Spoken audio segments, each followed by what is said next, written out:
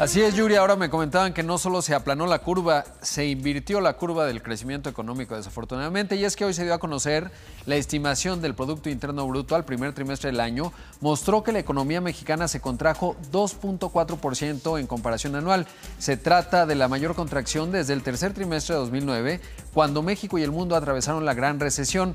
La mayor caída se dio en las actividades secundarias, donde están las manufacturas, la construcción, la minería y el petróleo, un tercio del PIB, y también obviamente en menor medida en las secundarias, que es el 60%.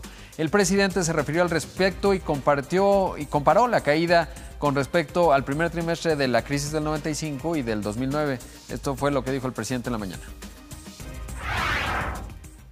Miren, en la crisis de Cedillo, el primer trimestre, ¿cómo se cayó?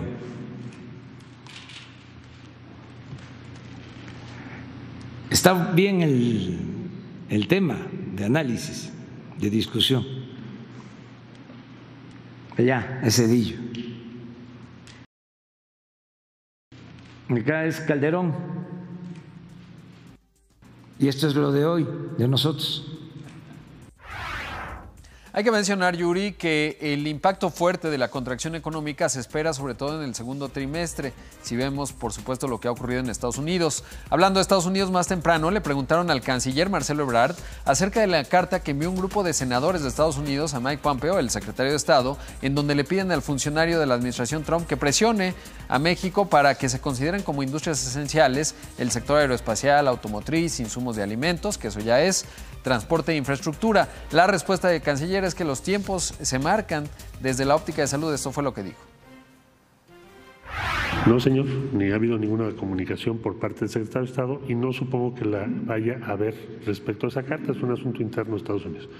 Estamos en una cadena de valor global, pero la prioridad de México hoy es la salud.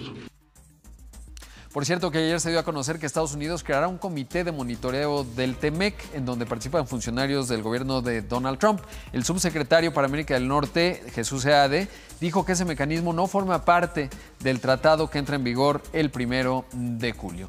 Por otro lado, Yuri, hablando de debacles, eh, y me refiero al desempleo en Estados Unidos que ya suma 30 millones en las últimas seis semanas, pero Pemex reportó resultados del primer trimestre y registró una pérdida enorme, 562.251 millones de pesos. Dicho monto es equivalente a cinco veces el presupuesto de la Secretaría de Defensa, que es uno de los rubros más grandes del gasto, o el valor eh, que se tiene presupuestado para, para tres refinerías de dos bocas, unos 24 mil millones de dólares. Para dimensionarlo, Yuri, en los 30 segundos que me está tomando decir la nota de Pemex, habría perdido en el primer trimestre 2 millones 161 mil pesos. Los ingresos de la compañía eh, productiva del Estado también experimentaron una caída, obvio, el desplome de los precios de 20%.